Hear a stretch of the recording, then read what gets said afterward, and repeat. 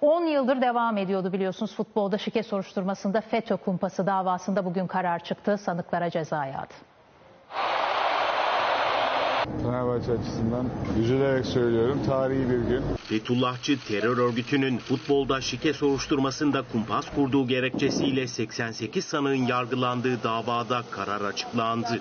İstanbul 23. Ağır Ceza Mahkemesi'nde bugün başta 3 ismi olmak üzere sanıklara binlerce yıl hapis cezası yağdı. Fenerbahçe'ye yaşatılanlar kelimelerle hukuki sonuçla ölçülemez. Bunlara bu yaptıklarına pişman edeceğiz.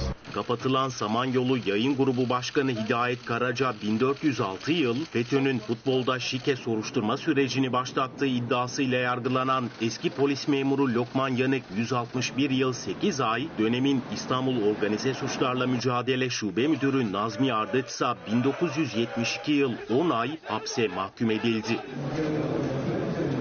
Sanıkların ceza aldıkları suçlar arasında haberleşmenin gizliliğini ihlal, iftira, silahlı terör örgütüne yardım etmek ve resmi belgede sahtecilik yer alıyor. Bunlardan yeterince ders alınması lazım. Bu dersler alındı mı alınmadı mı ben emin değilim.